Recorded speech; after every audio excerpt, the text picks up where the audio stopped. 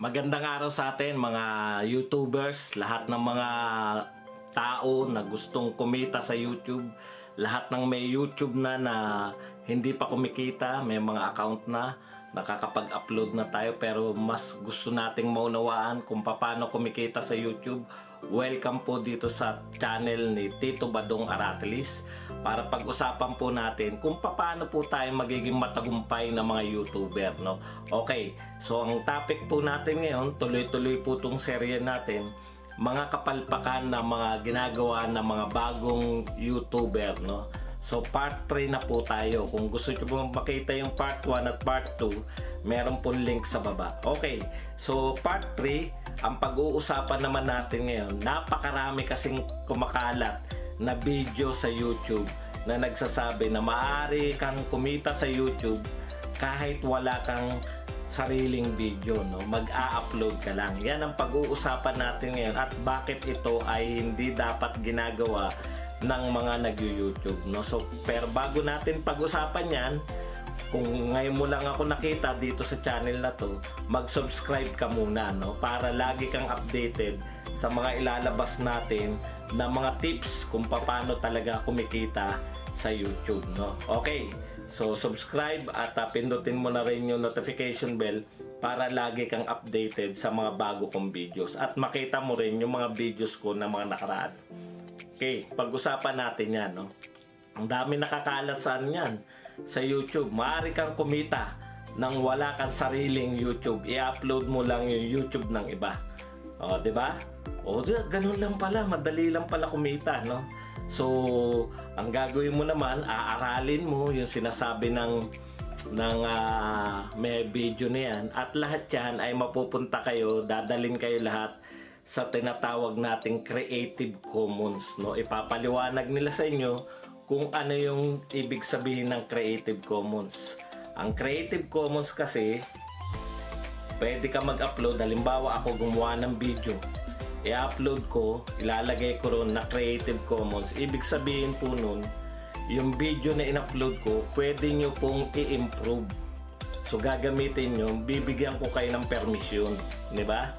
Ako, na may-ari ng video. So, kasi ang uh, legality po niyan, kung sino po yung gumawa ng video, siya po yung may karapatan. Copyright po yung tawag doon sa madaling salita.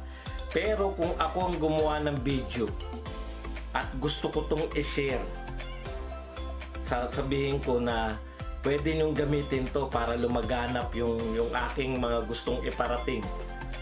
Ilalagay ko siya dun sa license na tinatawag na Creative Commons. Ibig sabihin po, pinapayagan ko yung ibang tao na gamitin tong aking video para sa video nila. Okay? So, eh, yun naman pala, pwede naman pala, pinapagamit naman pala yung video, yung video ng may-ari, no? Pinapagamit. Kaya pwede nating gamitin.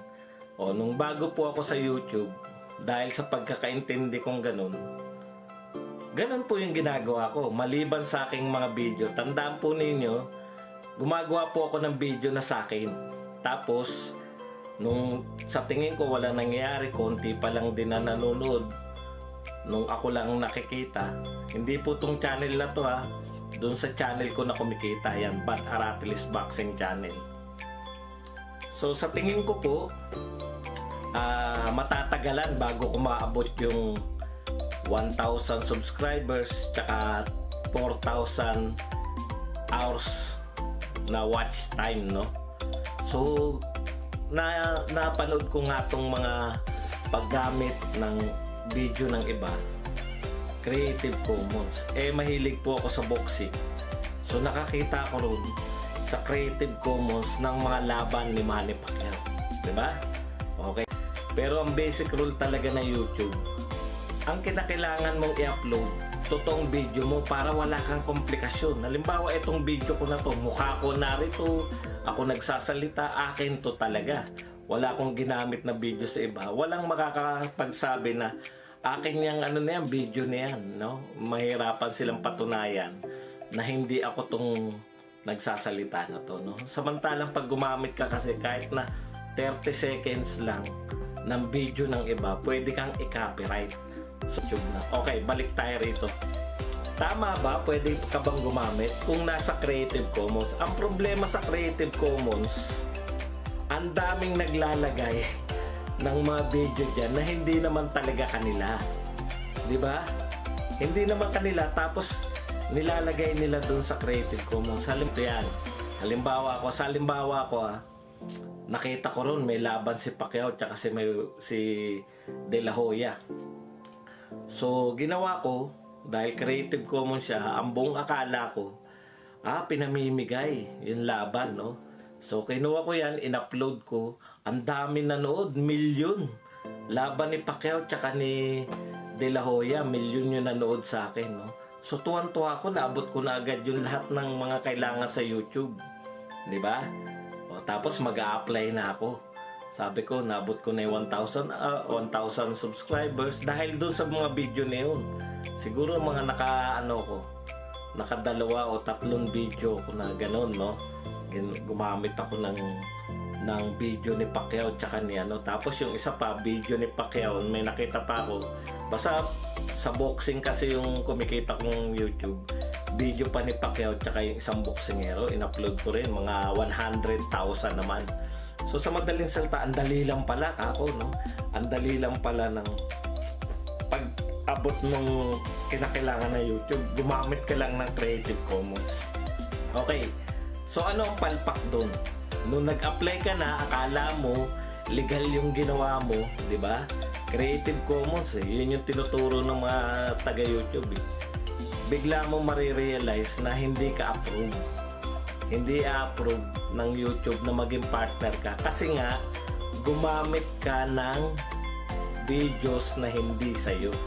So, ibig sabihin, yung, yung video ni Manny Pacquiao at saka nito ni versus De La Hoya ay hindi pala in-upload niya doon sa Creative Commons. Hindi naman pala kanya yun. Pag-aari yun ng HBO.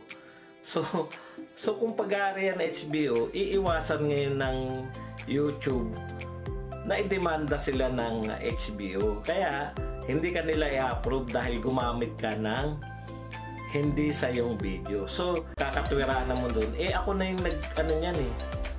Dinevelop ko na yan eh. At nakita ko yan sa Creative Commons. Ibig sabihin, pinapagamit. Yun nga problema mo. Kung yung nag-upload nun, ng mga video gusto mo ipakita, eh wala naman talaga siyang karapatan para i-upload talaga yung video niyo. Nag, nagkakaliwanagan tayo. So, ah, lalo na kung nagsisimula ka pa lang, hindi na tumalalaman na ba, YouTube. Computerized na po ang lahat. Ang ginawa, may ginawa nga ako dati, kinunan ko yung ano, para ka ako hindi sa video, no? Kinunan ko sa may TV. Naalaman din na YouTube kung saan galing yung kinunan mo na yun. So, ibig sabihin, ganun po katalino yung computer na YouTube. Matutukoy kagad nila na yung video na yan ay hindi sa'yo. So, hindi ka nila i-approve. Kung hindi ka ma-approve bilang partner, hindi mo rin pagkikitaan ng YouTube. So, kung gusto mo talagang kumita sa YouTube, talagang ang gagawin mo, yung mga nagsasabi na yan, hoax po yan. No? Hindi po, ba, baka ginawa nila minsan, alam mo, minsan lang, di minsan ka nakikita, no? Eh, kung ikaw ay nagsisimula pa lang naman, noon siguro nagagawa pa nila. Ngayon, napakahigpit na ng YouTube. Hindi ka basta-basta ah, kikita. Hindi ka nila pakikitain nang hindi mo sarili yung mga video mo. Para maiwasan yan, pag may nagsabi sa inyo na pwede kang kumita sa YouTube, i-upload mo lang yung video ng iba, eh kalokohan po yan. Yan po, wala pong YouTuber na sumikat na kaya siya sumikat dahil nag-upload siya ng YouTube ng iba. So kung talagang seryoso ka na pagkitaan ng YouTube, ang una mo dapat gawin ay magkaroon ka ng mga sarili mong videos. Dahil video to eh, YouTube. Hindi po to Facebook na copy-paste ka lang, copy-paste pwede na. Kinakailangan po, ang binabayaran po ng YouTube sa iyo, yung pagiging creator natin, no? Magke-create ka ng sarili mong video para ka bigyan ng commercial, para ka maging partner ng YouTube at magkaroon ka ng mga ads at kumita ka sa plataforma ng YouTube. So hanggang dito na lang po. sana nakatulong po itong kwentuhan natin na sa mga susunod po, marami pa po kayong malalaman dito sa ating kwentuhan kay Tito Badong na lahat po ng mga kaalaman ko, natutunan ko sa pag-YouTube ay isi-share natin sa inyo. Kung gusto nyong matuto, kung gusto nyong ma- mapagkitaan talaga ang YouTube, lagi po kayo manood dito sa ating YouTube channel. Hanggang dito na lang, ito po ang inyong Tito Badong. Hanggang sa muli. Paalam.